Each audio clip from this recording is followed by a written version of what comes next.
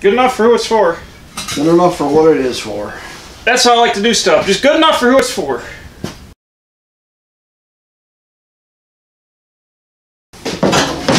Alright, welcome back to the Quick Speed Shop. Today we're building a dueling tree for uh, plinking pistols and rifles and whatnot.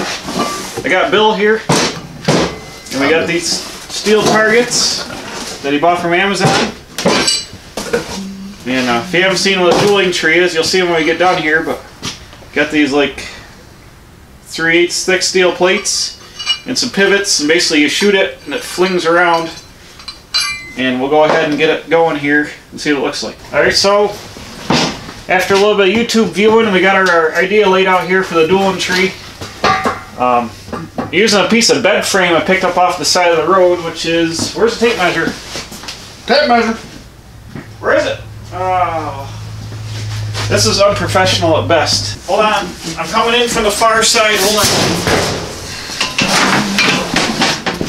So I got this bed frame picked up off the side of the road, which is looks like inch and a half by inch and a half. It's only eighth eighth wall, which might be a little light duty if you're shooting hot loads at this. That's what she said. But might be a little light duty. But for the amount we're going to be shooting at, it. it's probably going to be fine. The object is to hit the round circle. Right. If you're a good shot, it won't matter. You won't hit that and destroy it. And then I got a piece of uh, inch and a half flat stock here that we're gonna weld on the back of this and make a triangle. And then the round uh, holders for the paddles will weld to the back of that. And that'll give you enough room so you can flip flip these out both sides. So go ahead and get all this cut up and start welding it together and see what it looks like. So this flat stock it's gonna weld in here like so. Oop. Well, that's all jingly. Gonna weld in here like this. And then we'll take the circles and they'll weld on the back of the flat stock. And that'll give you enough flap for your paddles to flap either way. So we'll go ahead and get this clamped up and we'll tack this angle into place here.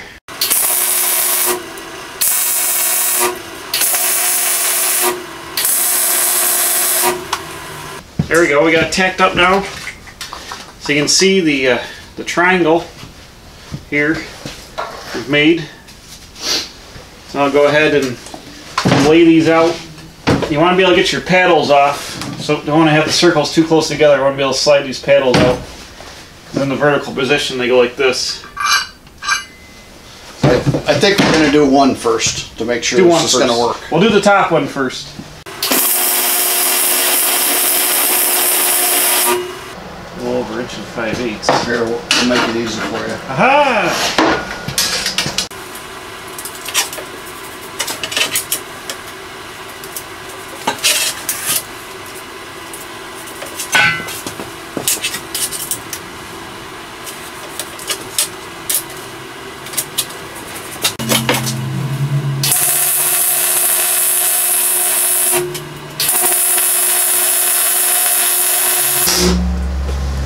Woo!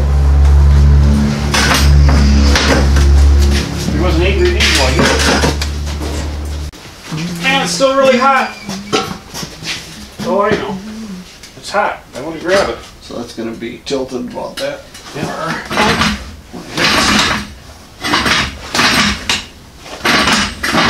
Does it work? Till it's hot! It's hot!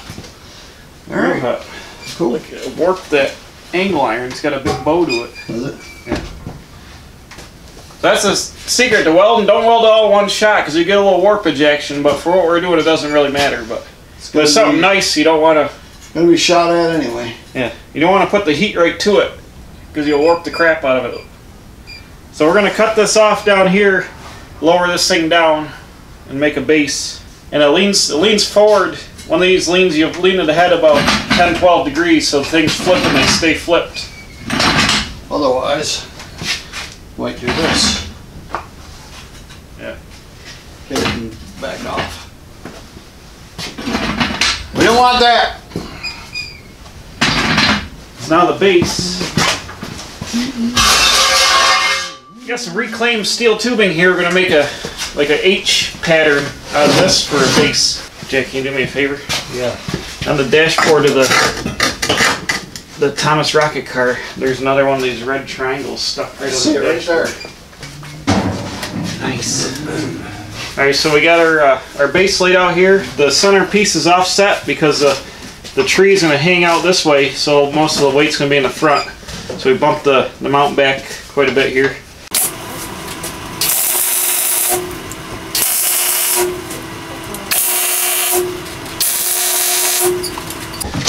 Got our uh, our base here. Oh, Now we gotta figure out.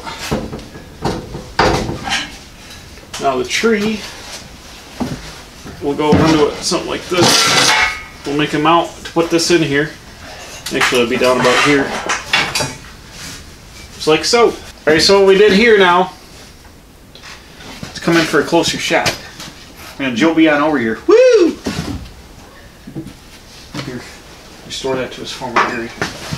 So we made here, this is our base. It's going to weld onto our stand. We got a thumb screw here's the the tree cut off. This slips down inside here like this.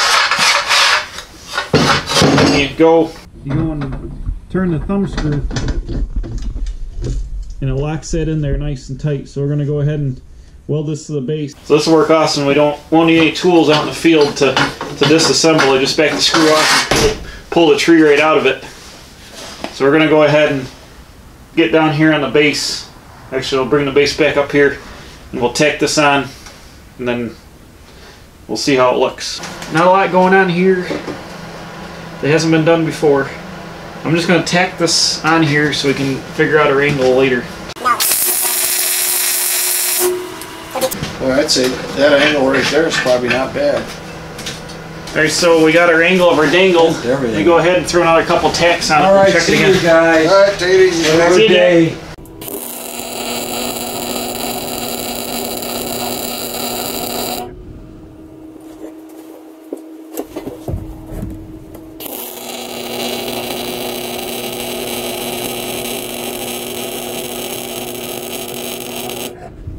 Look at that.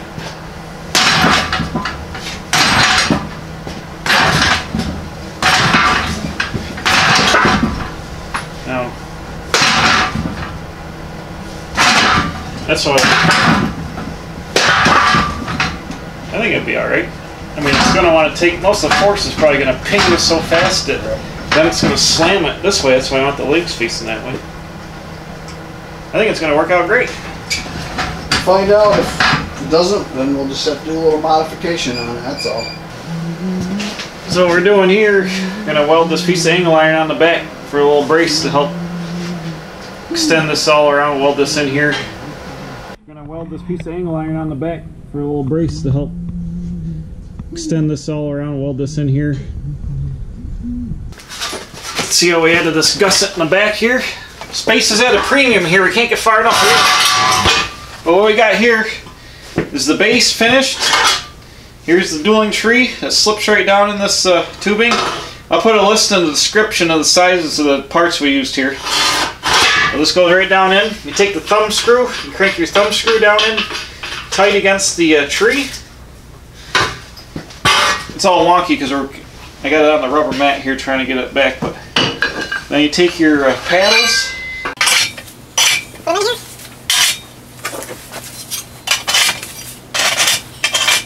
And you plink away. Plink.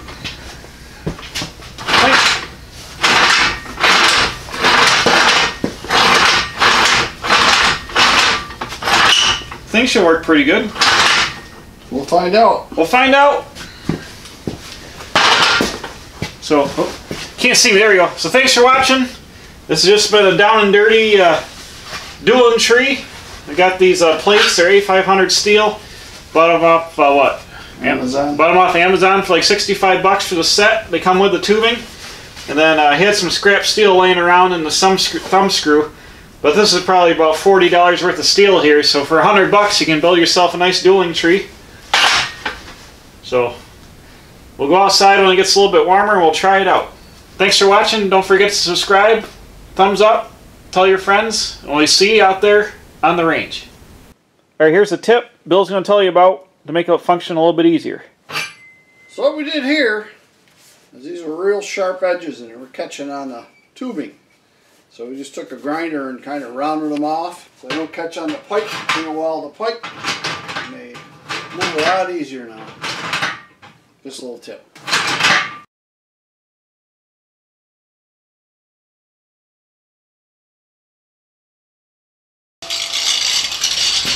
Dang. Probably should have been wearing masks.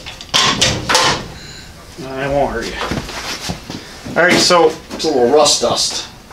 Well, rust dust never hurt anybody. Iron's good for you. You gotta pay for vitamins. This get you get this way you get it for free.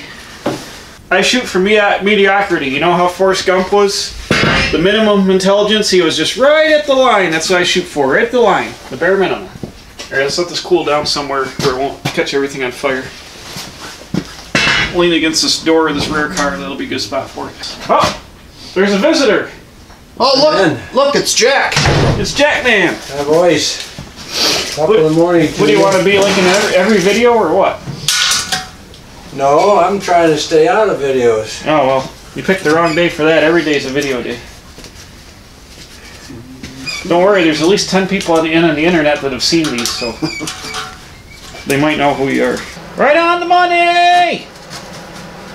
Is that Jerry Maguire said? Right on the money.